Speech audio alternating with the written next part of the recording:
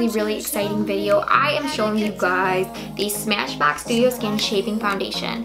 What do I think of it? Does it work well? How does it apply? What should you use to apply it? And is the contour color really a soft contour? You know, it is $42, but I wanted to kind of dive in because I think that this could be worth your money, especially since it is a decent price. My Smashbox Studio Skin Foundation alone costs $42, I think. So the fact that they give you um, with it, you're kind of getting a lot of your money. So I definitely wanted to try this out for you guys, and here it is. So yeah, before you guys get started, please subscribe to my channel. Please give this video a thumbs up if you like it, and let's get started. Alright, so in today's video, I figured I would try out the Smashbox Studio Skin Shaping Foundation. This is in the color 2.2. Um, I saw it for the first time at Ulta and I was intrigued, but I didn't know if I wanted to spend $42 on a foundation, but it is a foundation and a contour, so I mean, both of those separately, my Smashbox Studio Skin costs like $40, and then a contour stick usually costs around 20 or more, so that one, mm, maybe it's a good, good deal. So I figured that I would try it and see if it's worth you know, spending your money on because they definitely can be pricey, but if it works well, you're gonna end up saving money in the long run. Well, the benefit to this is that it is a two-in-one. It's a foundation and a contour, and supposedly Smashbox has made it so you don't have to find your contour shade anymore. They found it for you. So I read the directions, but they're very simple. Choose shade by matching foundation size or shade to your skin. Apply foundation where needed and blend.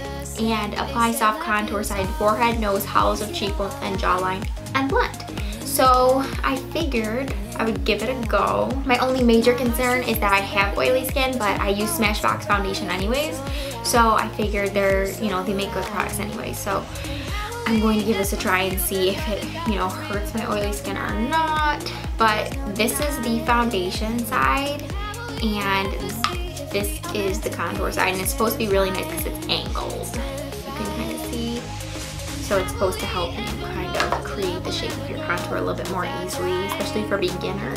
So I already did my eyes to save time and I already primed my face and moisturized. I used Kate Somerville ExfoliKate Glow Moisturizer and I used Benefit's Pore Professional Matte Rescue um, primer. So I'm just gonna go in with the foundation side and kind of just, when I use stick foundations, it is a learning curve because if you're used to using liquid foundation, it's gonna feel a little bit different, but I just usually draw lines. Like I'll do three lines on my cheeks.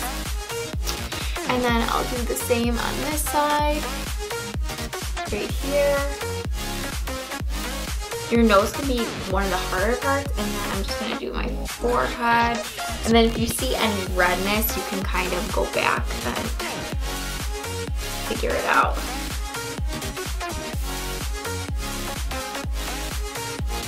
So yeah, let's see. I like a brush with stick foundation because I feel like it blends it better, but let's see. I'm gonna try doing one side with Beauty Blender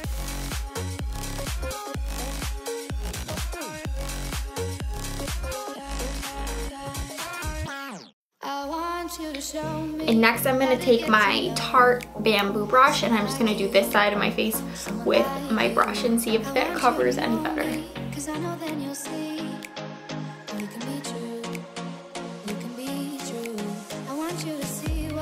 Okay, I started doing this side with my brush because I feel like it covers more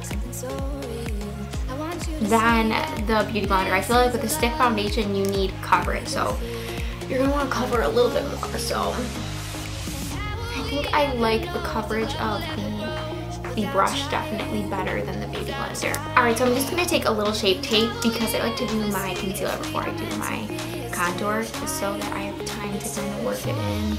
I don't use a ton because I don't like really way full, full coverage concealer looks even though I do like Shape Tape. I like to look semi normal that's even possible for me. It looks semi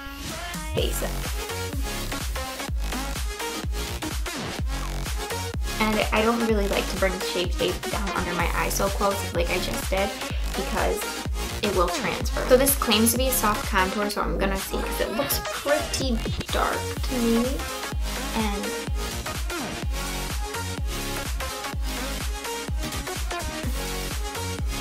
This looks pretty dark, but I'm gonna do the Kim Kardashian technique and do a. So, it's been a minute since I've done a full contour look.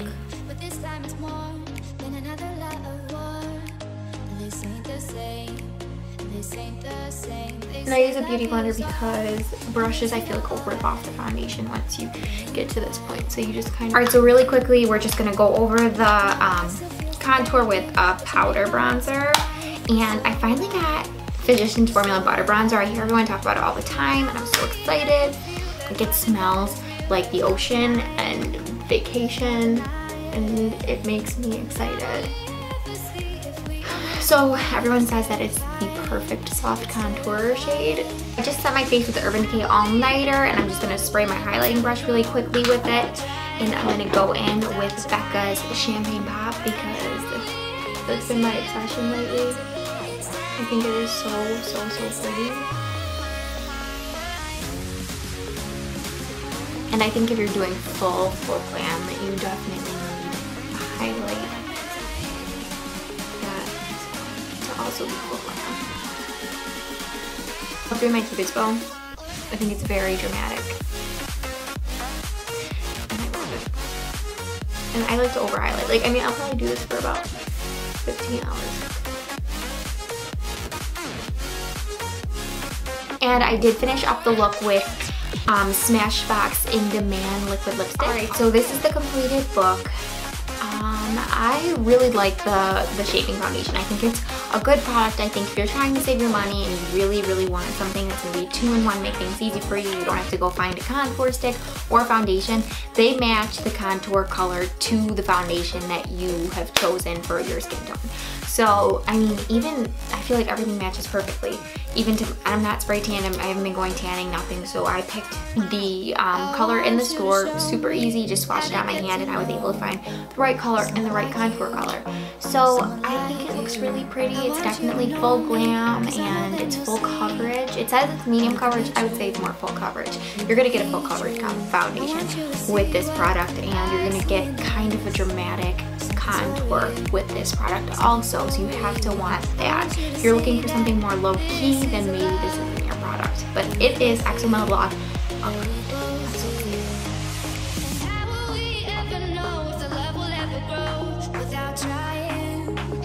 trying.